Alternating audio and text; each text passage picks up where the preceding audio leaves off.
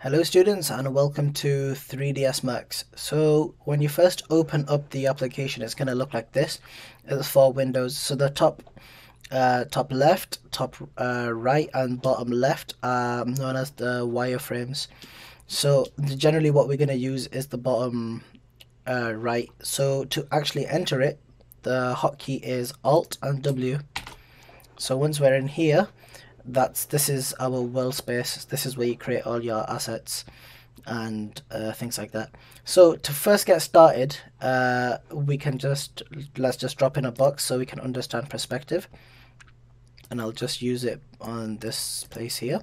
So I'll just place that there. And so first we need to understand is the camera angles to move because um, look for example if you drag the mouse and stuff nothing really happens.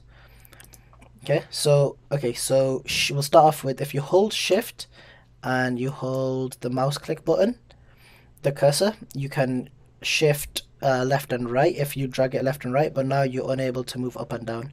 So to do that if you hold whilst holding shift and with the cursor you can scroll up and down. So this is good if you just want to detail it through left and right the next one is control. Control allows you to freely roam the camera in your current perspective.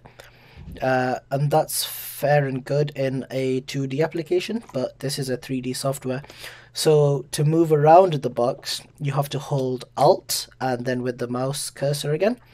And here we go. Now this is known as the X, Y, and Z axis. So as you can might be able to tell from the co bottom corner, uh, bottom left corner, uh, you have the three axes. So there's the y axis, which is like the back and forward. Uh, you got the x axis, which is the sides, and you've got the z axis, the 3D axis, which is up at the up space. Okay, so that's the first lesson on camera angles.